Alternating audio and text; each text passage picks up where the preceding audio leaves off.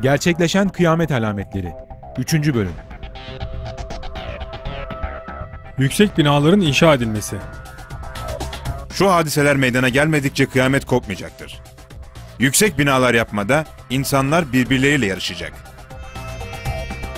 En yüksek bina yarışı. Gökdelen yarışı kızıştı.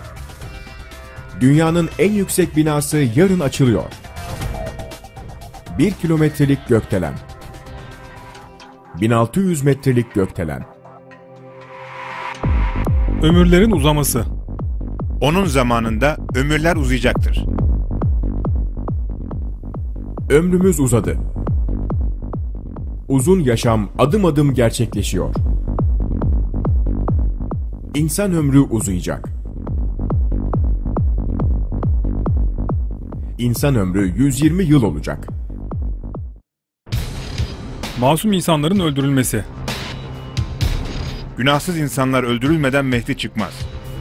Masum insanlar katloluncaya kadar Mehdi çıkmayacak ve katliamlara yerde ve göktekiler artık tahammül edemez bir hale geldiğinde zuhur edecektir.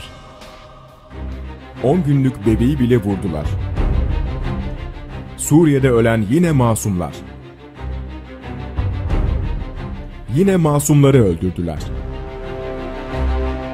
Masum halka ateş ettiler.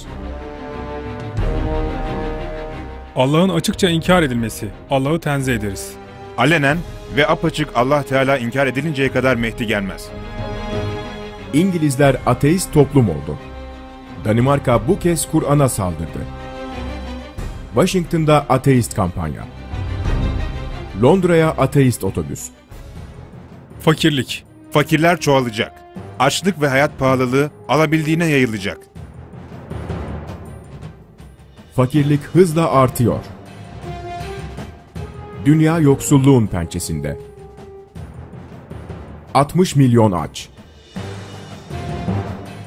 Saatte 300 çocuk açlıktan ölüyor. Yoksulların sayısı 1 milyonu geçti. Zinanın artması. Fuhuş açık olmadan kıyamet kopmaz.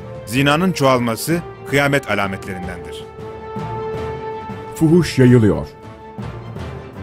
Fuhuş en büyük sektör oldu. Fuhuşta patlama var. Çocuk fuhuşu tırmanıyor. Hz. Mehdi Aleyhisselam'ın çıkışından önce yaygın katliamlar meydana gelir. Şu hadiseler meydana gelmedikçe kıyamet kopmayacaktır. Ölümler ve katliamlar yaygın hale gelecek. Dünyada katliam şoku. Katliam dünyası. Afganistan'da katliam. Arakan katliamı dünya gündeminde. Orta Doğu'da katliam başladı. Kaba söz ve küfrün yaygınlaşması Aynı zamanda gelecek bir nesildir ki aralarındaki selamları birbirlerine sövüp saymak olacaktır. Lisede kanlı bıçaklı kavga. Liselerin küfür cinayeti. Küfür yüzünden 16 yaşında katil oldu.